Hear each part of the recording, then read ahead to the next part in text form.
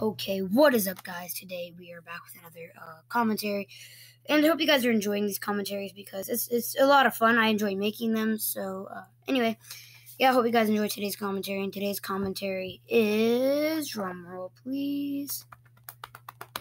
You can literally just see it from the title. Anyway, so we're gonna be talking about that, and this time was absolutely insane, and it's whenever I had surgery and yeah, so enjoy today's commentary, and I hope you guys having a fantastic day. And if you are, then that's an amazing thing. So good, have a good rest of your whatever you're doing now. So uh, yeah, basically just enjoy yourself and sit back, relax, and watch this video.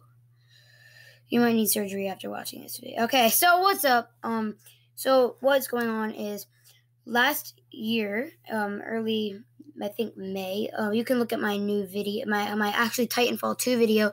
I uploaded the day after I had surgery, and what happened was my stomach did not feel very good one day at Universal, and so we were just walking around Universal, and I have like these continuous cramps, right? Like it's usually at Universal, okay, and so what was going on is just I had like these unusual cramps that I, you know, I never had before. Before, be, oh my gosh, I just stuttered. Stop.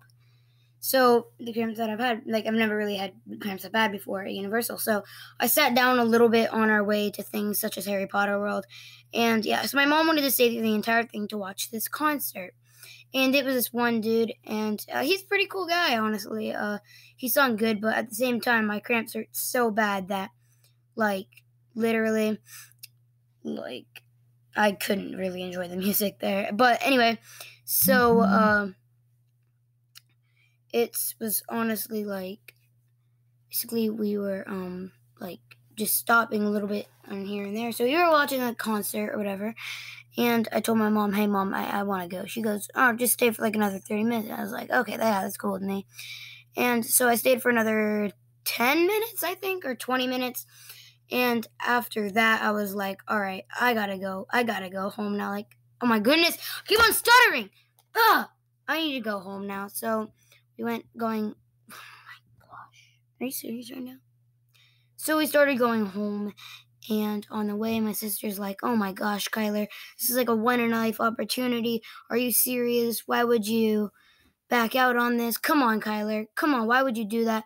Just, you know, basically trash talking me like she always does. Well, usually she does it. Okay. Now, sister, if you're watching this video, I love you. But anyway, point is, um, and I'm not saying that so I don't get absolutely wrecked by the time she's done watching it. Or she's probably not even going to watch it, just beat me up anyway.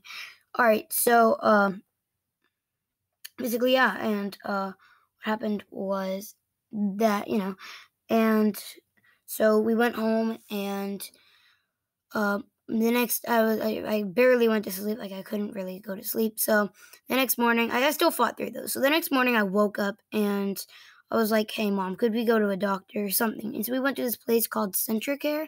I'm only saying the name of this place because they were the people that almost let me die, and this is why. Okay, so basically, we went to the place called CentraCare, and I absolutely hate the place. Nobody likes it at all. And literally, my sister um, had something wrong with her too, but they didn't like it either. So yeah, basically, CentraCare, if you're watching this, screw you. Nobody likes you. You guys are garbage. You guys can't literally heal anybody. So there's this stupid doctor that walked in, and it's the one in Florida too, right next to the um, CVS. It was where my old neighborhood was, so I, I live way too far from it now, but. Yeah, basically, um, if there, if any of them are watching this video, nobody likes you. Screw off. You almost let me die, mates. So basically, uh, this dude came in and he checked out and he literally okay, this gets a little bit weird.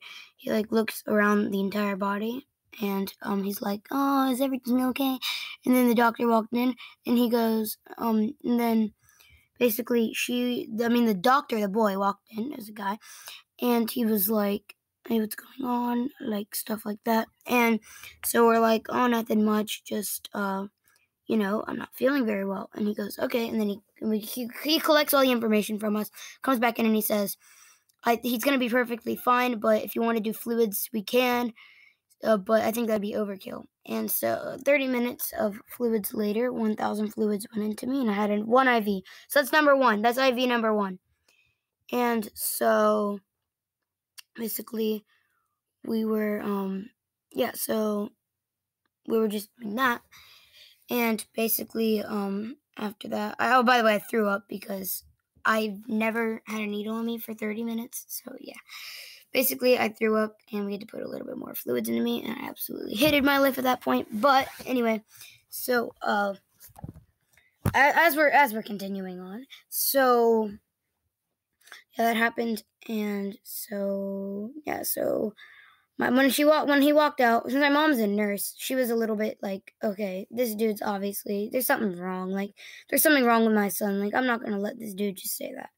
So that's what happened for that part, and then basically, um, I'm gonna be creating two parts of this, by the way, because my editor won't allow me to make way this this thing real quick. Like it won't let me. He won't let me do things, certain things.